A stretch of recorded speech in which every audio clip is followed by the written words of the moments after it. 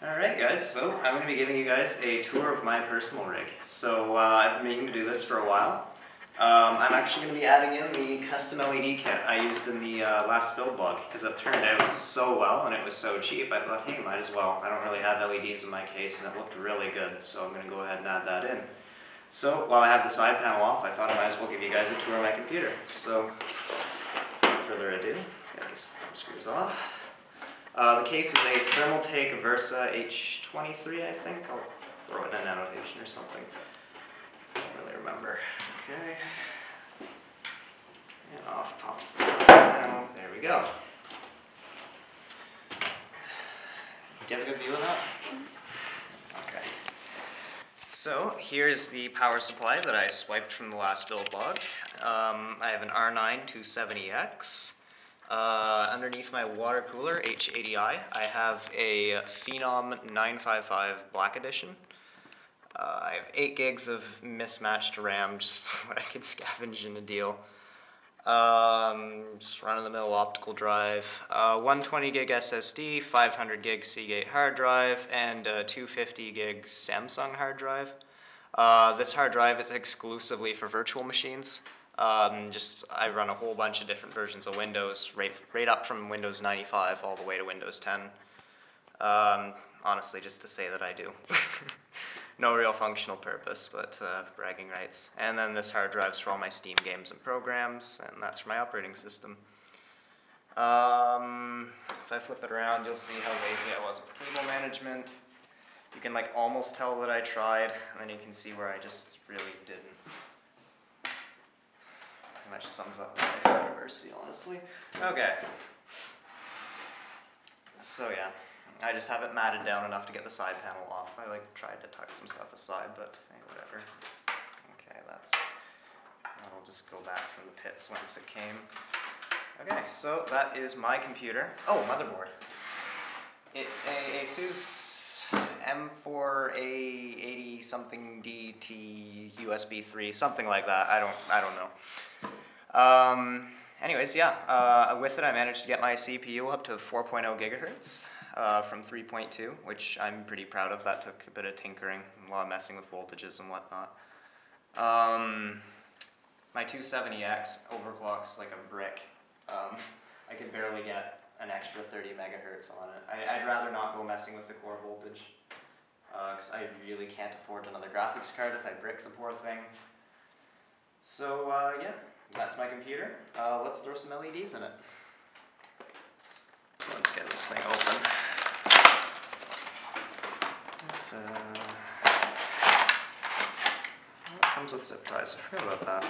Okay, so this is the control box with a infrared sensor and two leads. These plug into the LED strips, provide power, or sorry, no, this plugs into your power supply. It's a Molex, and it's got an adapter, plugs into the back of the control box like so. Um, just the fact that you have to route a Molex like somewhere around here where you keep the control box is really annoying, by the way. Um, and we have the remote to control it, and all the effects and coloring, and the LED strips themselves. Uh, they're held on with 3M adhesive. They, they hold really well, by the way. They stick great. Right, so that is it for that. Let's get this out of the way. Okay, now I have to figure out where I'm actually going to be putting this thing. On the uh, build log where I put the control box was like somewhere around here. I actually just zip tied it down uh, really tight. But it was really awkward if you guys saw in the like panning shots. I had just the Molex adapter hanging out in front of the power supply. It looked really bad, but there was nowhere else I could put it. So I figured, you know, whoever buys it probably isn't going to care too much. It's not even in view of the side panel window, so it really doesn't matter at the end of the day.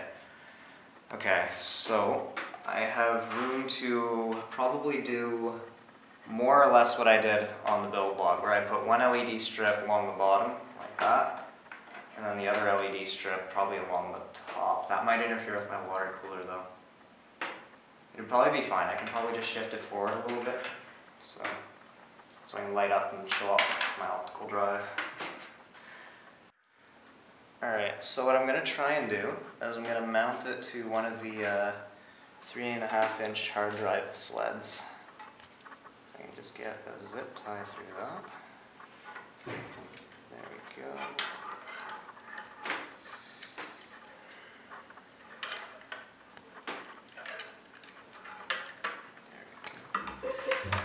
Okay. Just take that down. Oh, did I put it on backwards? Yeah, I did. Okay.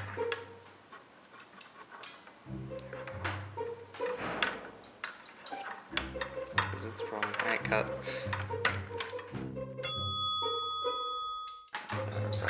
Zip tie on backwards again. I'll just run that through.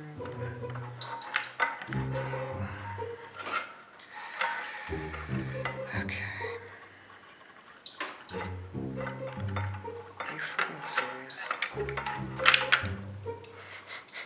It actually broke.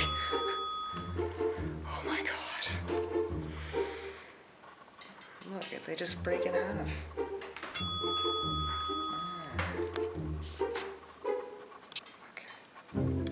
This again.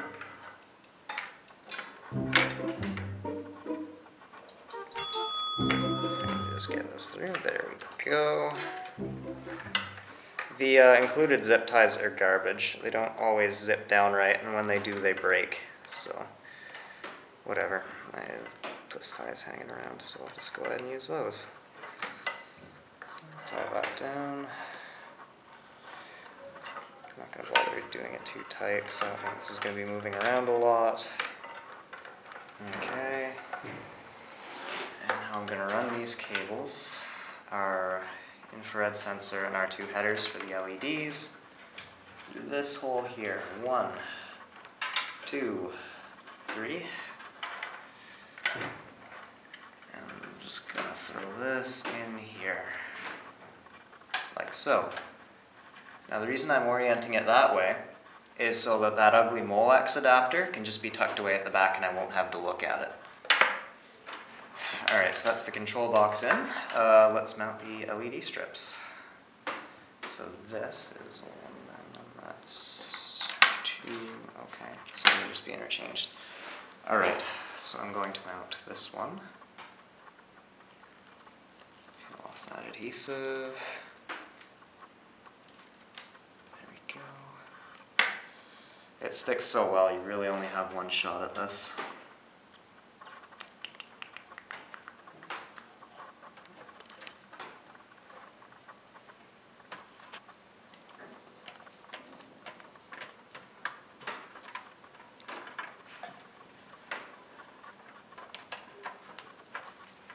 This can loop back through here. Oh, I'm gonna loop that back in here. Go, and then this is header one. And you have to match the little arrows. Make sure you're plugging them in the right way.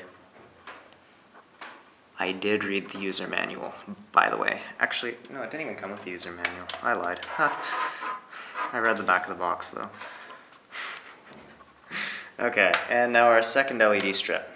Now we figured out that we can't mount it along the top because there's just too much interference with tubing and honestly my cable management is just atrocious up there and I'd really rather not light that up anyways. So what we're gonna do is we're gonna run a strip down the side here which will light up the graphics card and the North Bridge and the ASUS logo, all the stuff you wanna see anyways.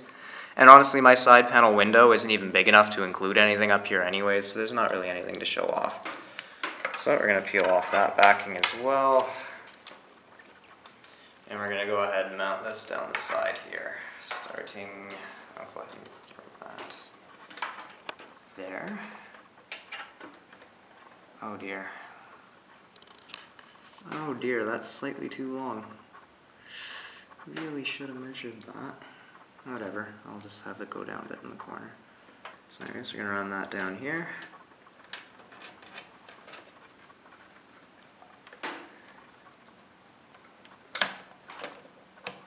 And there we go.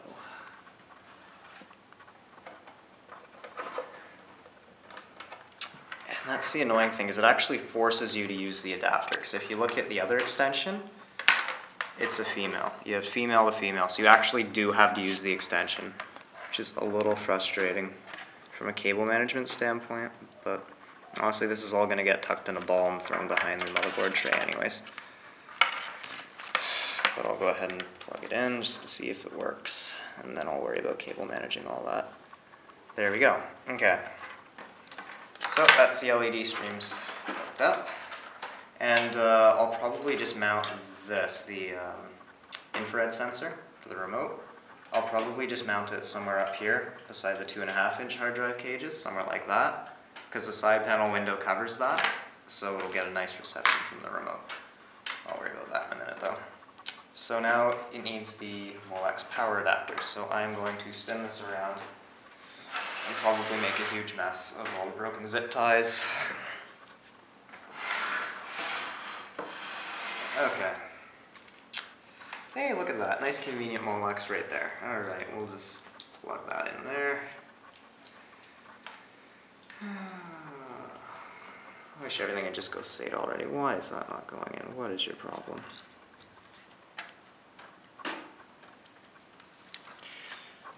Think one of the pins is slightly bent. Yes, it is. Okay. So if you ever can't plug something into a Molex, look at the pins, because sometimes they get moved out of alignment. So for God's sakes, make sure your computer's unplugged before you do this. This is a metal screwdriver. uh, worst case, I think if there is another Molex tucked back there if that one isn't going to work. And these are pretty straight already. What is your problem?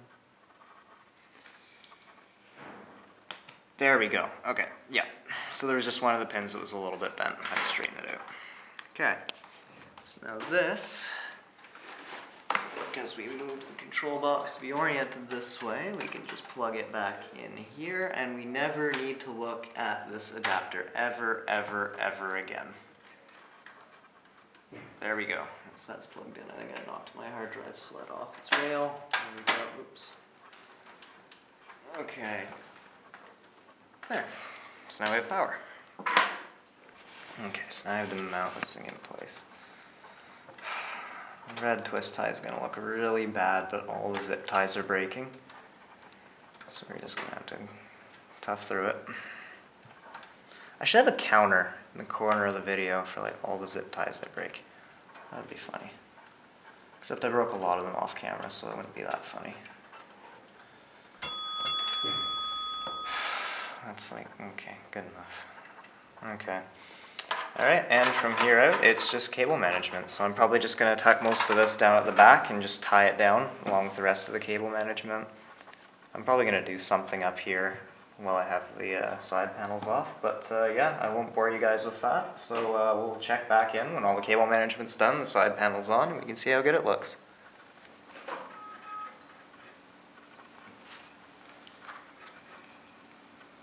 There we go.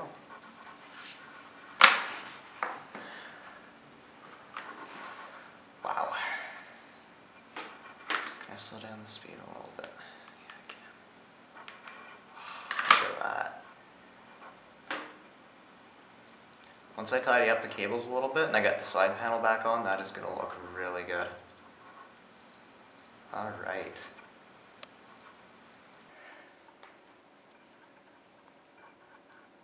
So yeah, 15 bucks. Oh, I think I have a bit of dust. The side panel window. Okay, I'll just take that back off and wipe that off real quick. But wow, that looks really nice. All right. So yeah, that's a uh, tour of my personal rig and a brief like crash course on installing LEDs. On that note, I'll get this shutting back down and uh, I'll see you guys in the next one.